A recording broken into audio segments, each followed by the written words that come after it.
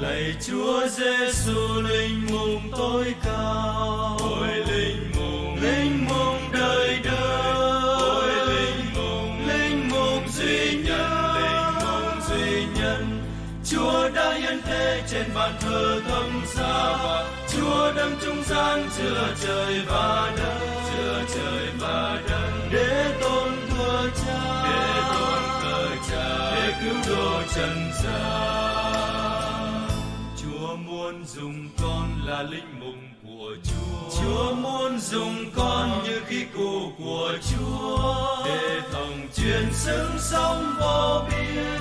Để còn làm chân ta chung kia để còn làm tấm bánh thơm ngon đưa mẹ ra hiến chào muôn người.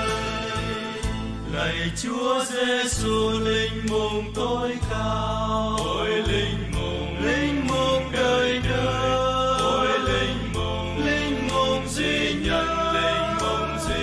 nhân Chúa đã hiến tế trên bàn thờ tâm giá.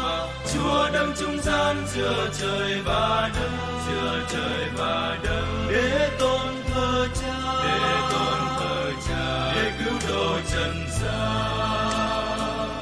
Chúa muốn dùng con là linh mục của Chúa. Chúa muốn dùng con thực thi công trình Chúa.